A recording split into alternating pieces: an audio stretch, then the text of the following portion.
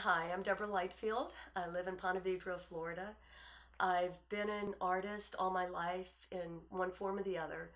I was I'm from a generation where women weren't supposed to be working. So art, I was allowed to go to art school by my father because I could be a, a better wife. Uh, but I did go professionally into jewelry and metalwork for 20 years. I'm a gemologist. Went out to California to get my certification and designed and made jewelry. After that, I uh, got my I had had my t- teaching certification as well. So I taught for 20 years. Um, that has always, I think, made me a better artist because in teaching, I, I wanted to make sure that I could teach realistic to abstract. And in my artwork, I have done that. Right now, I have found a new process called ocean wash, and that is done in the ocean. And I'll show you some examples of that and show you how I do that. But the ocean actually helps me paint the artwork, and then I do my magic after that. Um, but I've always been a creative person. I believe that accidents even in artwork make you a better critical thinker and accidents can be your greatest successes. So i, I go with the flow in life that way as well. I try to be a, a positive person and i try to have that reflecting in my artwork. Um, music is real important to me. Music is an audio thing but i think it's also to me a very visual thing.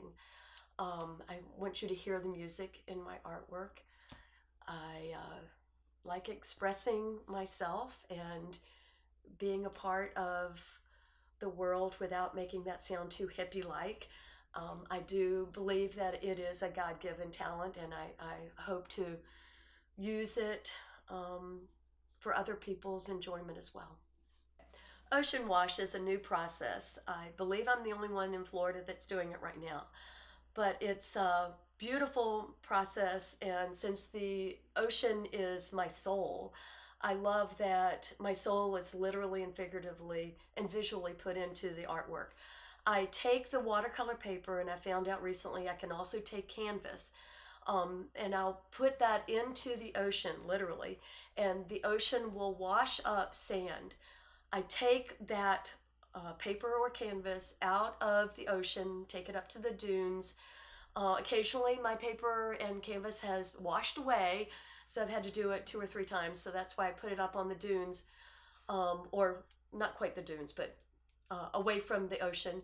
And I poured the acrylic paint on top of it, different color palettes that I think I might enjoy. I have no idea what it's going to look like until four or five days later when I sweep off the sand and then I can see some images in there and that's what I start painting.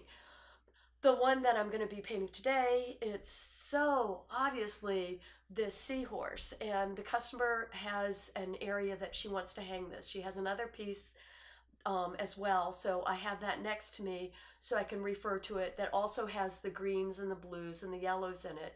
Um, and I really want to go with the flow, uh, see what the image and the paper and the colors are telling me to do, and see what happens because a lot of it is just that whole inner artistic uh, expression that emerges almost magically as I do it. And um, that's the fun part for me.